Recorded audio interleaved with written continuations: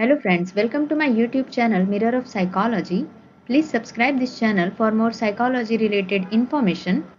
In today's video, we are going to discuss about parallel distribution processing model proposed by James McClelland and David Rumelhart. This model tells us about how our brain processes information. Imagine your memory as a big network of interconnected nodes kind of like a spider web each node represents a concept or a piece of information and the connections between these nodes represent how these concepts or informations are related to each other in our brain. Now, according to the PDP model, when you remember something, it's not just one specific part of your brain that is responsible. Instead, memory is distributed across many different parts of your brain, all working together in parallel. This means that different aspects of your memory can be stored in different parts of your brain and they all work together to reconstruct the memory when needed. Let's say you are trying to remember a friend's birthday party. In the PDP model, different parts of your brain might store different aspects of that memory.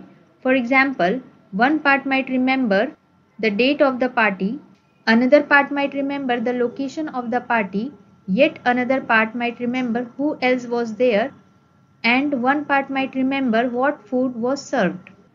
When you try to recall the memory, all these different parts of your brain work together simultaneously to reconstruct the entire memory of the birthday party.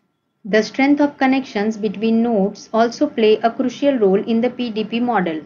The more frequently certain concepts are activated together, the stronger the connections become between the corresponding nodes. This is similar to how if you frequently think about certain things together, your brain forms stronger associations between them. For example, if you always associate pizza with cheese, the connections between the nodes representing pizza and cheese in your memory network will become stronger over time. So overall, the PDP model of memory emphasizes the distributed and parallel nature of memory storage and retrieval in the brain where information is stored across interconnected nodes and processed simultaneously. Thank you for watching the video.